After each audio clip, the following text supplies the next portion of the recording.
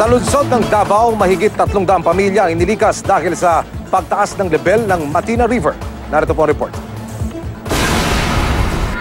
Bandang alas 6 kagabi, nagulat ang mga residente sa biglaang pagtaas ng level ng Matina River sa Davao City. Sa videong kuha ni Roel Galleros, makikitang umabot pa hanggang baywang ang baha sa Arroyo Compound. Pati ang tulay na daanan para makatawid ng ilog nasira dahil sa rumaragas ang tubig. Tanaw namin sa kuan pagkaanod, tulay.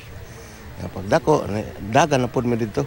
Dahil umabot sa critical level ang ilog, agad naglabas ng emergency alarm ang Barangay Disaster Risk Reduction and Management Council. Amo din silang initiative nga gipamando nga nagataas ang tubig and then as early as 6 mga 6.30 to 6.40 nag first alarm ni ay nanuktok sa among kuan kwarto nga kuan gawas mo diha kay ba, kuan baha na mao to ni gawas paggawas da- dala ang bata gidala pati ang bag na nagrescue po sa mua Sa pilitang pinalikas ang mga residenteng nakatira malapit sa ilog. Kanya-kanyang bitbit na mga maisasalbang gamit ang mahigit tatlong daang pamilyang lumikas. Pansamantala silang nanatili sa barangay hall sa barangay 74A.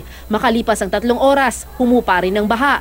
Kaya ang ilang residenteng lumikas bumalik na sa kanilang mga bahay. Nagtataka raw sila kung bakit tumaas ang level ng ilog gayong hindi naman umulan sa kanilang lugar.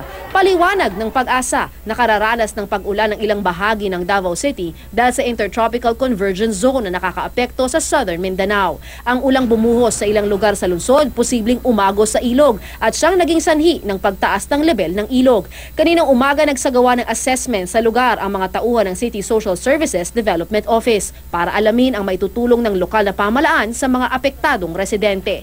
Lala Roque, GMA News.